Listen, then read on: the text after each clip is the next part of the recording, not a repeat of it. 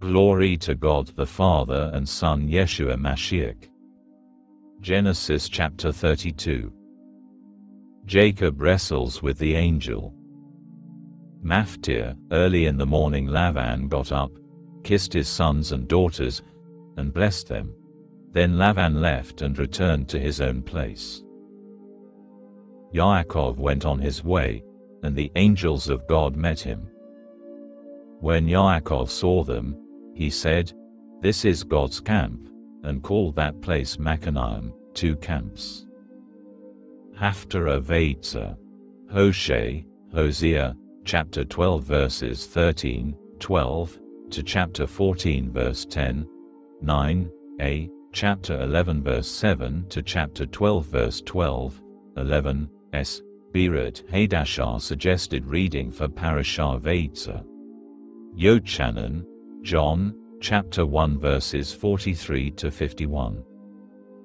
Yaakov sent messengers ahead of him to Esav his brother toward the land of Seir, the country of Edom. With these instructions, Here is what you are to say to my lord, Esav. Your servant Yaakov says, I have been living with Lavan and have stayed until now.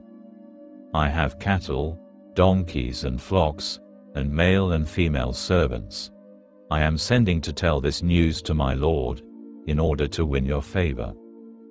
The messengers returned to Yaakov saying, We went to your brother, Esav, and he is coming to meet you. With him are four hundred men. Yaakov became greatly afraid and distressed. He divided the people, flocks, cattle and camels with him into two camps. Saying, If Esav comes to the one camp and attacks it, at least the camp that is left will escape.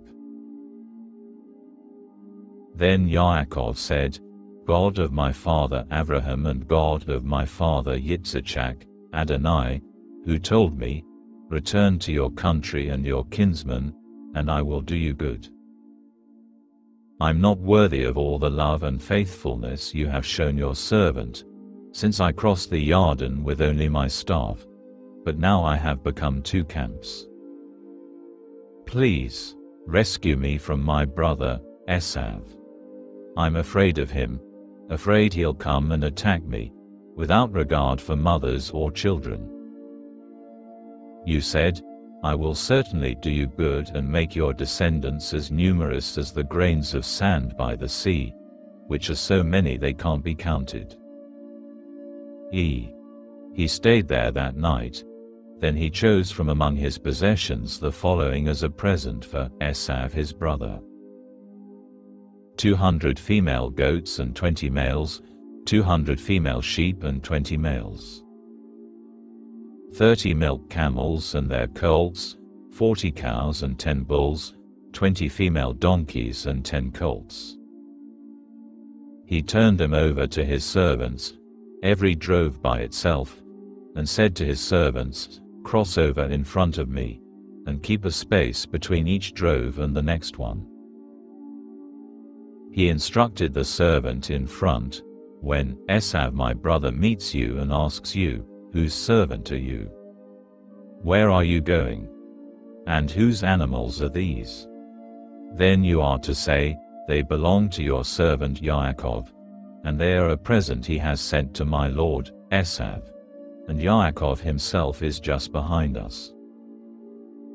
He also instructed the second servant, and the third, and all that followed the droves, when you encounter Esav, you are to speak to him in the same way.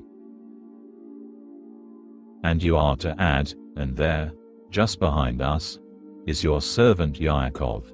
For he said, I will appease him first with the present that goes ahead of me. Then, after that, I will see him myself, and maybe he will be friendly toward me. So the present crossed over ahead of him, and he himself stayed that night in the camp.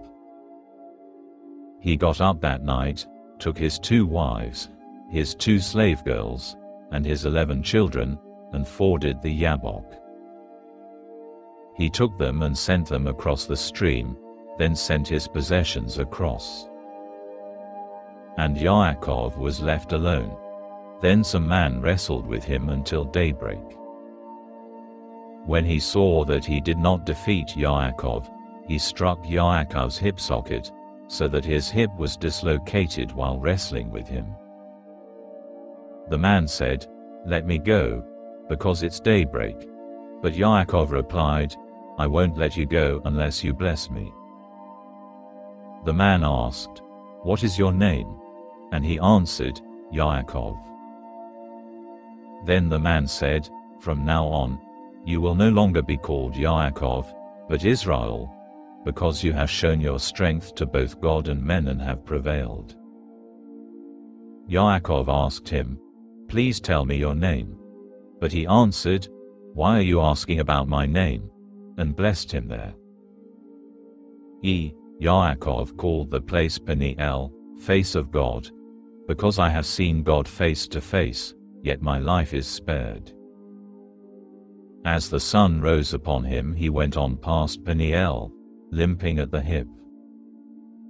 This is why, to this day, the people of Israel do not eat the thigh muscle that passes along the hip socket, because the man struck Yaakov's hip at its socket.